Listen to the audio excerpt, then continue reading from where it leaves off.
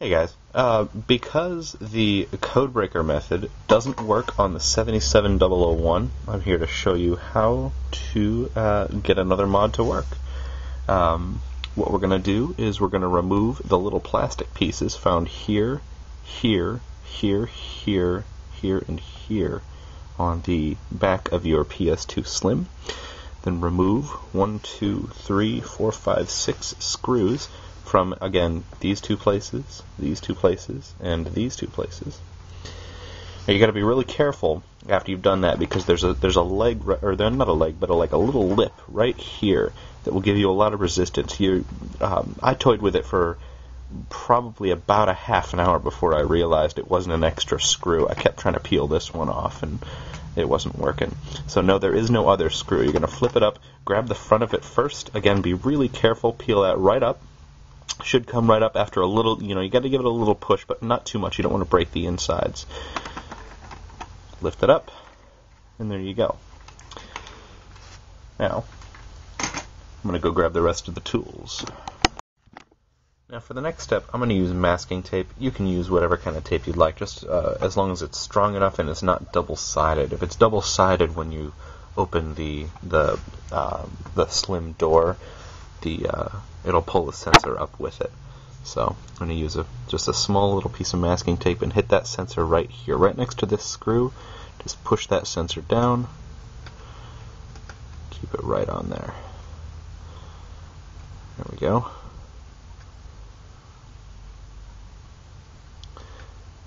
Make sure it's nice and in there. And it is. And again, it comes up really easily if you happen to need to remove it for some reason. Another piece of, again, stronger masking tape right here on the edge where the other sensor is.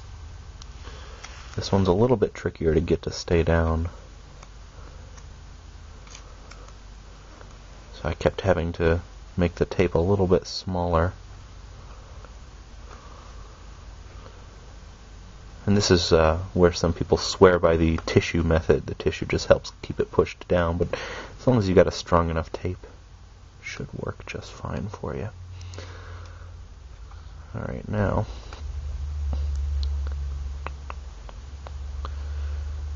there we go. Look at that. Like a glove. Alright. I'm going to grab my power cable here. And my AV cable. We're going to grab an original game. And the uh, the exploit I'm using is uh, one from Agent Under Fire. So we're going to pop Agent Under Fire right in there. And we're going to fire it up. Now this is the part where it gets really fun. So I've put in, uh, or I've, I've attached my uh, my regular PlayStation 2 controller, and I've got um, a memory card with a previous save on it. Now, this is the game that I've got, Agent Under Fire. This is one of the ones that's confirmed to work, and I just tried it out before uh, I just started up, so I know it does work. This is the version I have. I think this is the PlayStation Classics version. It might not be the original, but it does work. So, uh, load up Agent Under Fire and make sure you have a memory card installed. Ins- uh, make sure you get the first um, make, uh, beat the first level, get to the second level, the driving level. Don't start the driving level though. Save your game. Save your game to this memory card, and you can call it whatever you want. It doesn't matter. Um, then uh, I, I turned off my PlayStation. You don't have to, but I turned off my PlayStation. Now, th- then I opened it up, and this is where I'm, I'm, I'm doing this particular case mod. Now, I've got my case open just so you can see what I'm doing, but with these two sensors down, you can have the case on and just flip it open and do the same thing. The, the one thing that you're going to want to be careful about is when you're removing the disc. Now, this disc has seen better days. Uh, it's got at least one scratch or one scratch right here, kind of a bad scratch. Um, but it still plays.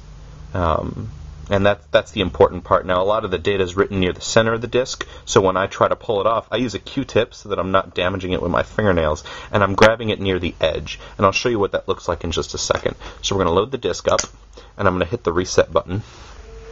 See the light turns green, and my PlayStation is loading it up. Sony Computer Entertainment.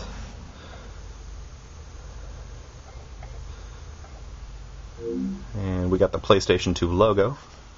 I actually could show you this, couldn't I?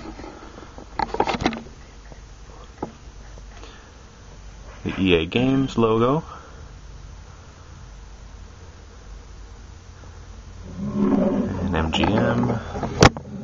I'm Move this back down here because we're almost at that point.